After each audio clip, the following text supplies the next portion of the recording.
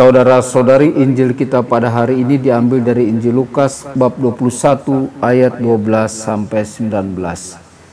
Pada waktu itu Yesus berkata kepada murid-muridnya, akan datang harinya kalian ditangkap dan dianiaya. Karena namaku kalian akan diserahkan ke rumah-rumah ibadat, dimasukkan ke dalam penjara, dan dihadapkan kepada raja-raja dan para penguasa. Hal itu akan menjadi kesempatan bagimu untuk bersaksi Sebab itu tetap teguhlah dalam hatimu, jangan kalian memikirkan lebih dahulu pembelaanmu.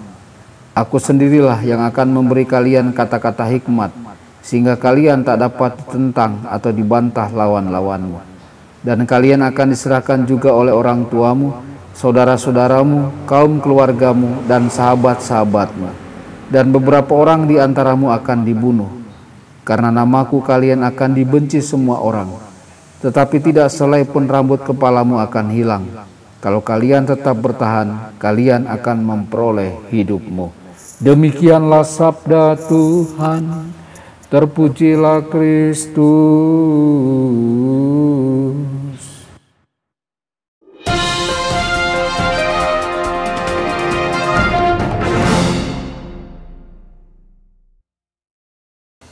Saudara dan saudari terkasih di mana pun Anda berada, jumpa lagi dengan saya Romo Tedens dalam saluran Warta Kabar Sukacita. Semoga Anda semua di mana pun berada senantiasa dalam keadaan sehat dan bahagia. Saudara-saudari, Yesus sering memperingatkan para muridnya tentang realitas kebencian dan penolakan yang akan mereka terima dari dunia ini. Di beberapa bagian dunia saat ini, banyak orang Kristen yang masih mengalami penganiayaan dan mempertaruhkan nyawa, pekerjaan, atau reputasi mereka dengan mengikuti Yesus. Yesus berjanji bahwa kita akan diserahkan, dibenci oleh semua orang, dan dihukum mati. Yesus mengundang kita untuk menerima semua penderitaan, besar atau kecil, demi mengasihi Dia. Saudara-saudari, penderitaan apa yang lambat kita terima dalam hidup kita? Penderitaan seorang Kristen menghasilkan buah yang langsung terlihat, entah kita menyadarinya atau tidak. Seberapa sering kita mendengar kisah tentang seseorang yang sangat menderita dan kita menyadari bahwa kesedihan mereka adalah kesaksian yang paling kuat akan kasih Allah dalam hidup mereka. Mereka yang menderita, yang diuji, sering kali menjadi orang-orang yang dapat berbicara dengan paling meyakinkan tentang Injil.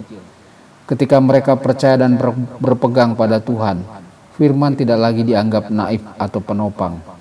Kita menjadi saksi yang kuat ketika kita menerima penderitaan dan membagikan pengalaman kita tentang Yesus dalam konteks ini. Yesus mengundang kita untuk bertekun, berdiri teguh dalam menghadapi kesulitan, seperti nyala api yang terus menyala di tengah angin.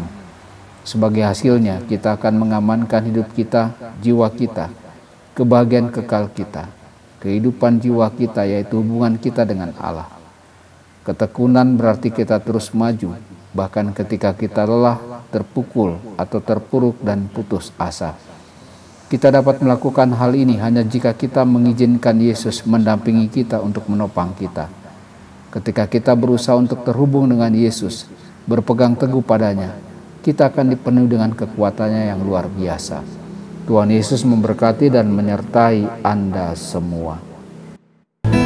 Sabda Allah adalah kebenaran.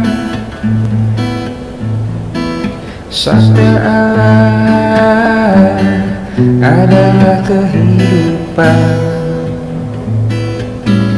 Mari kita mencintainya. Mari kita menghayatinya Ya Tuhan yang ku muliakan.